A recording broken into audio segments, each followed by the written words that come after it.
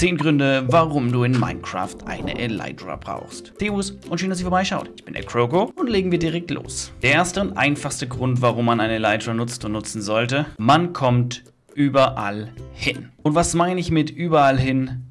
Naja, schaut euch mal solche Bergspitzen an. Dort hinaufzukommen ist super umständlich.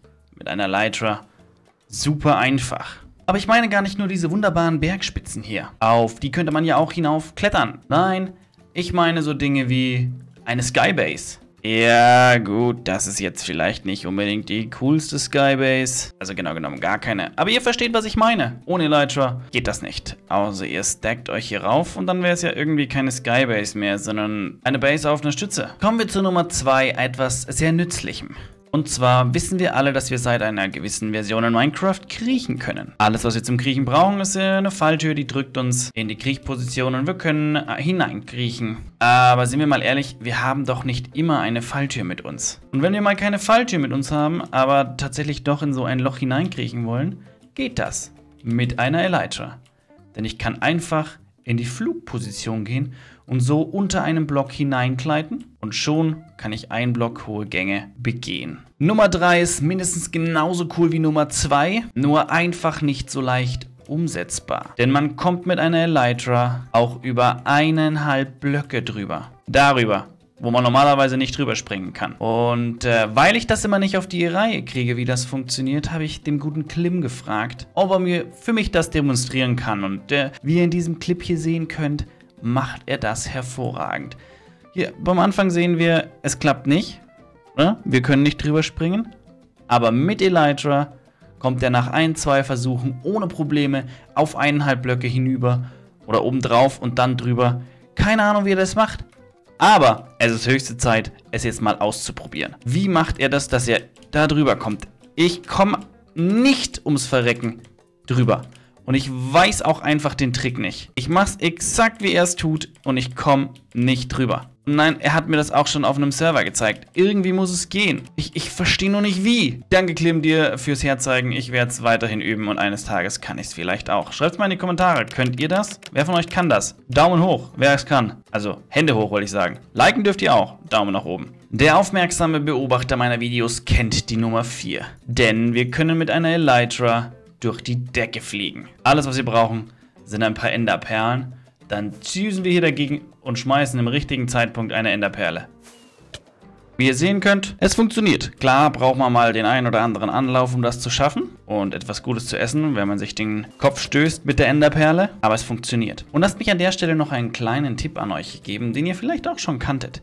Wenn ihr mit einer Elytra an die Decke fliegt, nehmt ihr keinen Schaden. Wenn ihr eine Enderperle gegen die Decke schmeißt, ja dann schon. Kommen wir zu Nummer 5. Bei Nummer 1 hatten wir ja schon den Punkt, dass sie mit der Elytra überall hinkommen. Aber nicht nur das ist der Vorteil, denn wir kommen mit der Elytra auch überall super schnell hin. Aber wie schnell ist so eine Elytra wirklich? Diese Strecke hier ist 1000 Blöcke lang.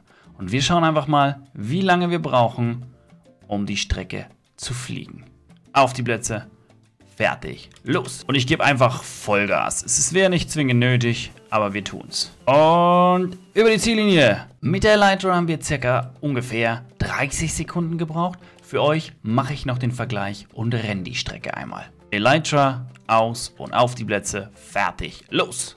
Natürlich wird gesprintet und gesprungen. Mal schauen, wie lange wir für 1000 Blöcke brauchen. Gut, wie lange habe ich gebraucht? 2 Minuten 15, 2 Minuten 18, irgendwie so. Gutes Stück über 2 Minuten. Natürlich weiß ich, dass es noch andere Methoden gibt, mit denen man sehr, sehr schnell reisen kann, aber die Elytra macht es einem wirklich unglaublich einfach. Aber die Elytra hat noch eine weitere wunderbare Funktion, die sich bei Nummer 6 versteckt. Ich habe einen Wassereimer dafür als Beispiel genommen. Lasst uns mal ein kleines Stückchen reisen. Und zwar ans Meer. Wusstet ihr, dass ihr mit der Elytra auch wunderbar unter Wasser tauchen könnt? Und ihr könnt dann eure Elytra mit Hilfe von Raketen auch als Düsenantrieb unter Wasser verwenden und ist man es somit auch nochmal ordentlich schnell unter Wasser. Und kann natürlich jederzeit seinen Flug über Wasser fortsetzen. Das ist eigentlich echt ganz praktisch. Eintauchen, ein bisschen versteckt vor Feinden und wenn es ist, mit den nötigen Raketen wieder rauszischen und ihr könnt hier im Wasser auch in eine Art Warteposition gehen. Seht ihr das? Ich sink ein bisschen nach unten. Man sollte aufpassen, dass man nicht am Boden aufkommt, weil dann ist die Fluganimation vorbei.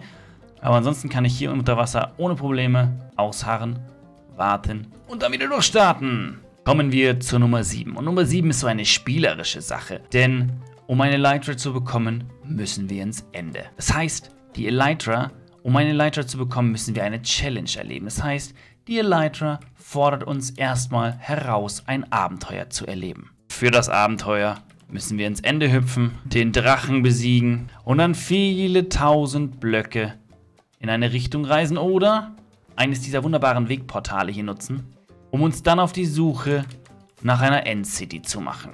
Ja, ich habe natürlich jetzt eine Elytra schon an. Ohne Elytra ist das eine wahnsinnige Aufgabe. Wer wissen möchte, wie anstrengend sowas sein kann, einfach mal nach ein paar Endstreams, Endsessions von mir schauen. Wir haben einmal über eineinhalb Stunden nach der ersten Endcity gesucht. Und ich bin nicht irgendwie Banane. Wir haben dabei eine Menge Zuschauer zugeschaut, die alle ihre Tipps und Kommentare reingeschrieben haben. Also wir haben wirklich effizient gesucht und sowas kann dauern. Das Spannende ist, mit dem Finden einer Endcity ist es ja dann nicht getan. Man muss dann zum Schiff, man muss gegen furchterregende Schalker kämpfen. Wenn man die furchterregenden Schalker dann mal besiegt hat, dann kann man sich hier den Loot schnappen und auch die Elytra. Kommen wir zu Nummer 8 und dafür reise ich gar nicht zurück nach Hause.